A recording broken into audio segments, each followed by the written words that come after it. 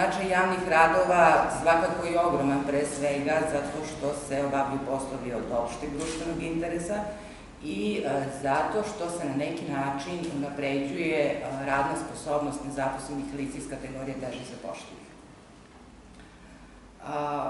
A kao što smo čuli, grad je ove godine izdvojio 6 miliona dinara za angažovanje oko 43 lica na javnim radovima. Ja bih samo dodala da se po javnim vozivima Nacionalne službe za zapošljavanje prosečno u toku godine angažuje oko 620 lica sa evidencije nezaposlenih, od kojih je oko 450 finansirano sredstvima nacionalne službe, odnosno republičkog budžeta, a ostala lica budu finansirana sredstvima lokalnih samouprava samostalno ili kroz udruživanje, odnosno kofinansiranje sa nacionalnom službom. Poseban dobar primer, kada je reč o udruživanju sredstava, jeste udruživanje radi finansiranja samozapošljavanja.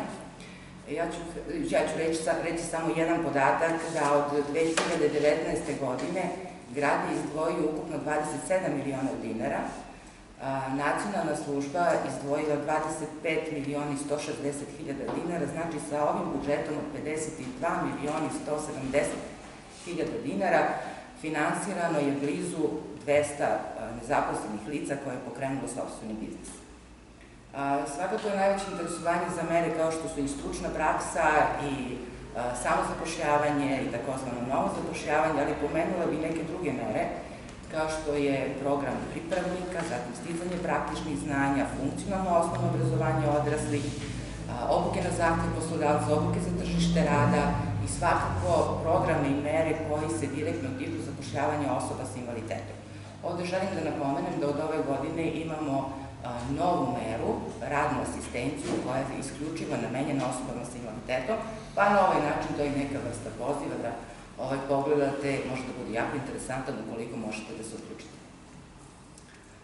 A, svakako ostaje da ovaj, čestitam na ovaj, ugovorima koje ćete dobiti. Nacionalna služba se zaista potrudila da u što kraćem vremenu obavi sve one tehničke aktivnosti kako bi vi mogli što pre da krenete sa, sa izvođenjem javnih gradova i iskoristili pogodne vremenske prilike.